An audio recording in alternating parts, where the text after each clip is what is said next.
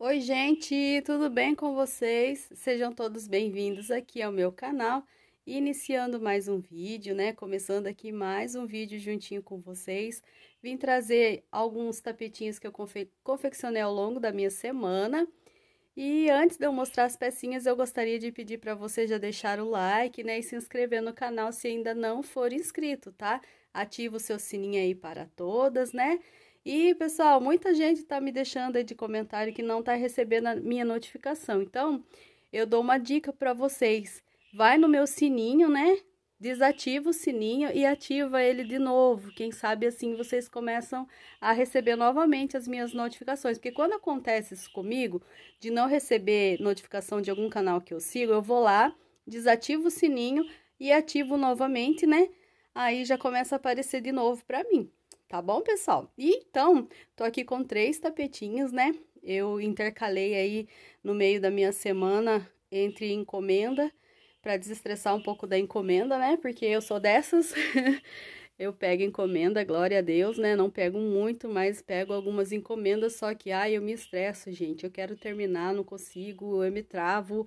E aí vim confeccionando esses tapetes aqui ao longo da minha semana para tirar um pouco do foco, né? Até mesmo porque aqui eu estou finalizando, é um tapete todinho no preto, então o barbante preto cansa muito a visão, né? Eu uso óculos e ainda assim a minha visão fica muito cansada com barbante preto. Então, para desestressar um pouco daquela encomenda, eu vim fazendo esses tapetinhos aqui. Eu iniciei hoje, gente, eu quero ver se eu mando esse vídeo em tempo real, hoje é sábado. E aí eu comecei no domingo, eu acho que esse vermelhinho aqui, que eu comecei a fazer. E aí vim fazendo, né, ao longo da semana, pegava um pouquinho a encomenda, um pouquinho os tapetinhos e concluí hoje esse rosinha que hoje na minha manhã eu concluí o rosa. Ficaram tão bonitinhos, gente, eu já tirei as medidas, eu já pesei e teve uma diferença bem grande aqui de é, peso e também medidas por conta de marca de barbante, né? Então, não pule esse vídeo. Eu sei que tem pessoas que são muito ansiosas, já corre o vídeo lá para frente para ver as pecinhas abertas e aí acaba perdendo algumas informações importantes que a gente dá ao longo dos vídeos, né? Então, é interessante você acompanhar o vídeo todinho, né, para não perder aí as informações e as dicas que a gente vai dando ao longo do vídeo, tá bom? Tô aqui com alguns materiais que eu utilizei, eu vou virar vocês daqui, ó, alguns dos barbantes que eu utilizei, né? Esse marronzinho que tá aqui embaixo, eu usei ele todo com sobrinha, tá bom, pessoal? É, tirando a parte da base, que foi aquele cru lindo, maravilhoso, do barbante Ziza, que eu já falei pra vocês, né? E aí, o restante foi sobra do marrom. E agora, esse vermelho e esse rosa é esse material aqui que eu usei, tá? O vermelhinho, eu tô chateada, que eu acho que eu não vou conseguir fazer mais um tapetinho, né? Eu vou tentar, se eu não conseguir, eu desmancho e faço uma tampa de vaso para ficar um kit de duas peças, né? Um, um kit lavabo. Tudo barbante 6 e eu trabalho com agulha de 3,5 milímetros, tá bom, minha gente? Então, vocês vão falar, nossa, Gil, mas você fez tapete avulso? Ó, ali tá as minhas sobras, olha lá, um pouco, né? Das minhas sobras, porque eu tô com um projetinho aí que eu ainda não compartilhei.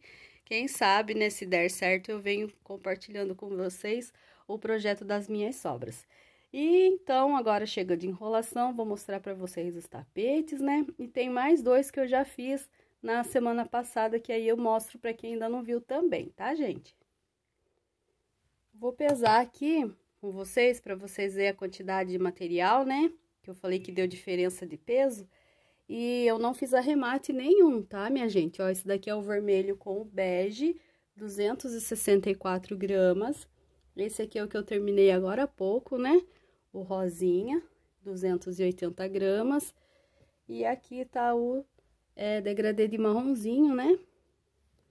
286 gramas. Então, vocês viram que deu uma diferença boa desses dois últimos aqui com esse vermelho por conta desse begezinho aqui, gente, que ele é bem, bem fininho. Nossa, muito, muito fininho mesmo, e vocês vão ver que vai dar diferença também no tamanho da peça, né? Vou abrir aqui para vocês ver melhor.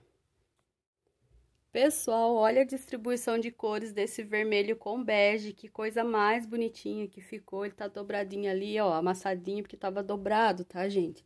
Esse daqui é o modelinho oval tradicional, que tem videoaula em muitos canais aqui na plataforma, mas eu tenho videoaula aqui também no meu canal, se vocês quiserem, né? Procura por tapete queridinho do ateliê que vocês vão achar. E só que eu faço ele com tulipinhas, tá bom, pessoal? Porém, aqui eu tô montando ele agora sem as tulipas, né? Tô fazendo um total de nove carreiras para daí já fazer o bico de acabamento. Então, sem tulipinha, né? E eu inicio a base do meu tapetinho com 33 correntinhas e eu volto na quarta corrente para já começar a fazer ali o meinho, né? A construção dos pontos altos. Aqui, então, eu fiz vermelho com bege, que eu mostrei para vocês, né? Um bege bem clarinho de uma marca que eu ganhei da minha irmã, né? Uma marca chamada Pluma. Eu achei ela bem, bem fininha mesmo, mas enfim, coloquei aqui nesse tapetinho. Se não der para fazer o parzinho, eu faço uma tampa de vaso, né? Mas mesmo para ter uma paleta de cores aqui, uma diversidade de cores no meu catálogo, né? Que eu falo que o meu Instagram agora ele é meu catálogo, para que os clientes possam ver lá, né? Se inspirar nas cores, né? Na hora de estar tá fazendo aí o seu pedido, as suas encomendas. Então, eu tô tentando trazer uma variedade de cores, né, gente? Então, aqui, ó, eu iniciei ali a base com vermelhinho e fiz uma carreira com vermelho. Aí, eu fiz uma, duas, três, quatro, cinco carreirinhas com esse bege, mais duas carreiras com vermelho, mais uma com bege, para daí fazer a carreira de ponto fechado e esse bico de acabamento que vocês encontram lá no canal da Lorena, do Ateliê Loren Crochê. Esse tapetinho aqui ficou o menorzinho de todos, ele ficou é, 65 ou 64, Eu vou medir de novo, pessoal. Acabei de medir, pessoal, ele deu 65 por 44, então ele ficou menor que esses outros dois aqui que eu vou mostrar pra vocês. Olha que gracinha que ficou, né? Esse vermelho tá muito mais vivo pessoalmente aqui, minha gente do céu, como tá lindo esse vermelho. Então, agora eu vou mostrar pra vocês o outro tapetinho, né? Que é esse daqui. É um clássico de degradê, né? Como eu falei pra vocês, eu não fiz é, arremate em nenhum deles, tá, gente? Olha só que lindo.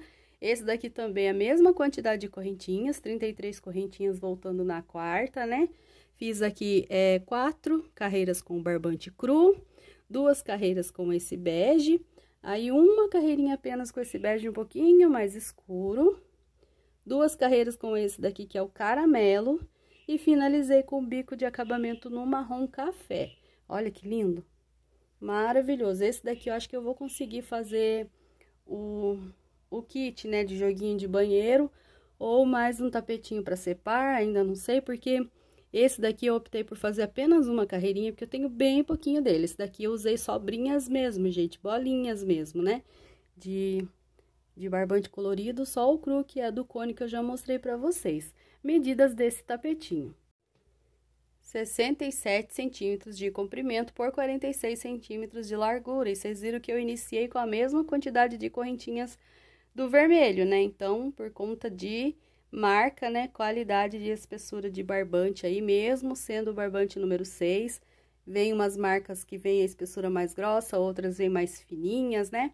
Ai, que lindo, né, gente? Esse daqui é um clássico, não é mesmo? Degradê de marrom, seja quais forem os tons de marrom, fica lindo, fica maravilhoso. Tá dobradinho assim, tá, aliás, amassadinho, porque tava dobrado também, né? Precisa estar tá fazendo os arremates. E tirar fotos para colocar lá no Instagram. E agora também, então, né, vou mostrar o rosa e convido vocês para me seguir lá no Instagram, gente, que é o arroba crochê da oficial. Eu compartilho lá no meu Instagram todos os meus trabalhinhos que eu trago aqui no YouTube, eu compartilho lá no Instagram também, tá bom? E também tem a minha página, né, no Facebook, que é o Ateliê Crochê da Gil. Eu vou deixar o link da minha página na descrição do vídeo, tá bom? Olha que lindo, esse foi o último, então, eu finalizei hoje na parte da manhã. Mariana acordou super cedo e aproveitei e fui lá na sala com ela, né? E ela brincando, eu sentada junto com ela e finalizei esse meu tapetinho aqui. Olha que gracinha, né? Os amantes do rosa. Levanta a mão. aqui, gente, eu fiz um total de três carreiras com o barbante cru, a intercalei, né? Fiz duas com rosa médio, uma fileirinha apenas de pink, duas de rosa médio. Aqui a nona carreira eu fiz ainda com o cru e o bico de acabamento eu fiz com rosa médio. Olha que lindo. Maravilhoso, né? Esse daqui, pessoal, ficou 68 de comprimento por 47 de largura. Então, vocês viram que os três deu uma diferencinha aí de tamanho, né? Ah, eu amei esse daqui. Achei que ficou muito, muito delicadinho. O que, que vocês acharam? Eu dei uma pausinha aqui para ir buscar um lacinho para mostrar para vocês, gente. A hora que eu tava abrindo ele aqui na, na mesa para medir, eu lembrei que eu tinha um lacinho. E aí, essa fileirinha aqui me lembrou a tipo um cordãozinho, né? E, e olha só, se colocasse um lacinho da mesma cor aqui do pink, se não ia ficar uma gracinha, gente. Olha que lindo, né? Mais uma ideia aí, né, para você se inspirar, ó. Maravilhoso. Olha só que lindinho fazer um lacinho pink e colocar assim, é, aqui como se fosse imitando, né, um cordãozinho. Olha que lindo. Ah, não, ia ficar muito, muito bonitinho. O que, que vocês acharam, minha gente, dessa minha produção aqui durante a semana, né? Eu vim fazendo, esse daqui foi o último que eu finalizei hoje na minha manhã. Eu vou pegar os outros também, né? O azul e o verde, para quem não viu, ver agora, né? Que eu já confeccionei também um, um, uns tons de azul e outro em tom de verde. Aqui tá, pessoal, o que eu fiz em tom de é, azul, né? Fiz aqui na pegada do azul Fiz cru, esse daqui é o azul bebê, essa fileirinha aqui do meio é azul petróleo, azul bebê novamente, cru, e finalizei com o bico no azul petróleo. Olha que lindo, tá parecendo azul marinho, né? Mas é o azul petróleo, pessoal. Olha que coisa mais linda, eu amei. Ficou maravilhoso, porém eu quero tá fazendo outros, outros tonzinhos de azul também, né? E aqui tá o verde, ó. Eu usei verde bebê, esse aqui é o verde jade, e o bico de acabamento é no verde musgo. Olha que lindo, né? Esse daqui eu já fiz resenha deles, tá? Mas não fugiu das medidas, viu? Ficou mais ou menos aí nessa pegada de 65 a 68 de comprimento por 45, 47 de largura, uma coisa assim, né? E super econômico, vocês viram, né, minha gente? Vou pegar os outros tapetinhos, organizar aqui para finalizar esse vídeo aqui com vocês, esse vídeo bem colorido, né?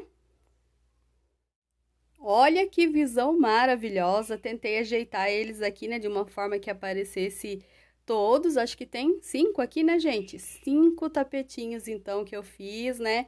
Esses três últimos aqui eu fiz durante essa minha última semana. Esses daqui eu já trouxe na semana passada, tá bom? E é isso, trouxe mais mesmo de inspiração aqui de cores, né, para vocês e para mim também, porque eu preciso ter uma variedade de cores para estar tá oferecendo para os meus clientes, né? Como eu falei para vocês, vou estar tá apostando aqui nesses modelinhos também para estar tá fazendo jogos de banheiro, jogos de cozinha, né? Ou jogo de passadeira e dois tapetes, né? Porque a gente fala jogo de cozinha, mas o cliente que sabe no qual cômodo que ele vai colocar, né? Às vezes tem pessoas que gostam de colocar em quarto também, né? Olha que visão maravilhosa. Ainda tá faltando aqui os tonzinhos de amarelo. Como assim, Gil? Você gosta de amarelo? Não fez nenhum. Pois é, gente. Eu tô evitando trazer apenas o do meu gosto, porque senão ia dar só amarelo aqui, né? Eu sou apaixonada por amarelo. Mas enfim, está faltando o amarelo, lilás, né? Laranja, então tá faltando aqui algumas cores ainda para completar, né? Tô querendo trazer é, em outro tom de azul também. Enfim, a gente sonha, né? Idealiza, imagina várias combinações de cores, mas sabemos que aí no meio da semana sempre tem, né? É, a gente faz um, um projeto, faz uma meta, mas nem sempre do jeito que a gente planeja, planeja aquele dia ele sai, né? Mas enfim, tudo deu certo, se não deu hoje, amanhã dá, e a gente acorda e luta novamente e precisa ficar frustrado por isso, né, gente? Mas eu só queria mesmo trazer esse vídeo aqui mais de inspiração, né? Para você que está sem ideia de combinação de cores, de modelo. Lembrando que quem quiser estar tá confeccionando esse modelinho aqui, é só procurar aqui no meu canal pelo é, tapete queridinho do ateliê que vocês vão encontrar. Porque às vezes eu falo que eu vou deixar o link e acabo que esqueço que não deixo o link na descrição do vídeo, né? Mas entrando aqui no canal, é, olhando os últimos vídeos aí, é só entrar na descrição que vai ter link lá, tá bom, pessoal? Então, eu acho que eu passei todas as informações aqui, né? dos meus tapetinhos. Estou muito contente com essa minha produção bem colorida, né? Até vamos dizer assim. E eu espero que tenha agradado vocês aí também. Sai desse vídeo sem deixar aquele joinha para ajudar aqui no engajamento do canal, né? Para fortalecer o canal, para que o YouTube possa estar tá indicando os meus vídeos para mais pessoas, né? E se você ainda não é inscrito também, eu te convido a inscrever aqui no meu canal. É de graça, minha gente. Aperta aí no inscrever-se, ó. E não esquece, ativa o seu sininho, porque assim o YouTube conta para você toda vez que eu colocar um vídeo novo aqui no meu canal. E eu vou ficando por aqui. Vocês que ficaram comigo aqui nesse vídeo, um grande beijo, minha gratidão e até o próximo vídeo!